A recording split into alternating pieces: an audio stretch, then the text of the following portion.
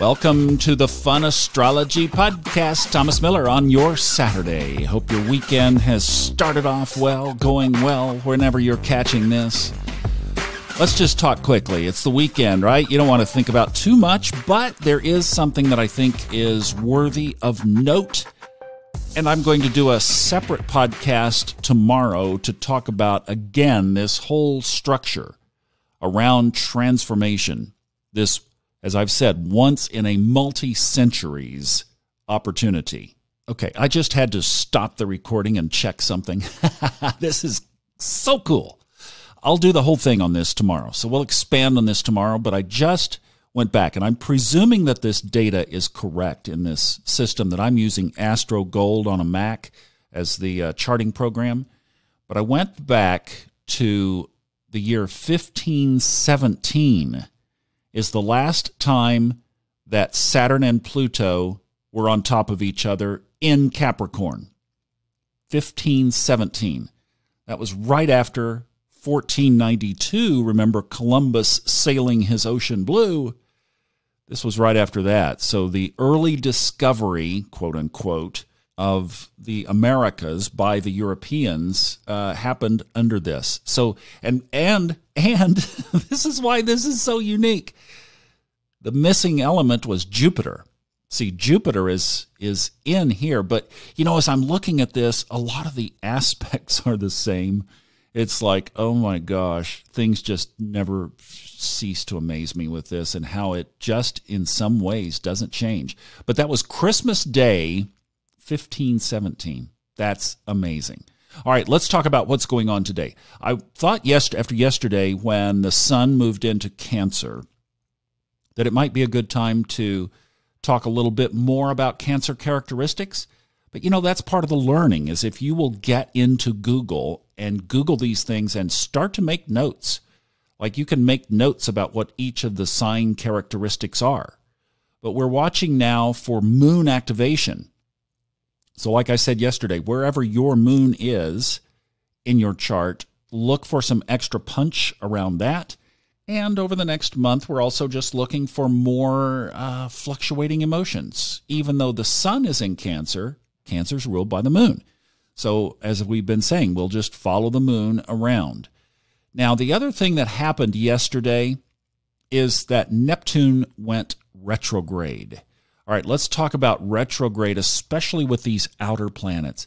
See, traditional astrology, and we're talking the like from the Middle Ages all the way back to even Babylon, okay, Egypt, Babylon. They only could see what they could see. The last planet that they could catch was Saturn with the naked eye. So there was no Uranus, Neptune, and Pluto. So when we talk about these slower moving outer planets, if you will, we're talking about modern astrology. So a lot of people are going back to traditional astrology. That's why, and here's a technical term, the whole sign house thing, uh, which I've really kind of switched over to myself, has a lot of merit uh, because that was what the traditional astrologists looked at. And the angles, the aspect angles, are much crisper in whole sign, but it does affect your reading. And I just got to say, from a personal note, for those of you interested in this conversation, the Placidus chart, in my own interpretation, has a little bit more merit of where the particular planets are in uh, specifically one house.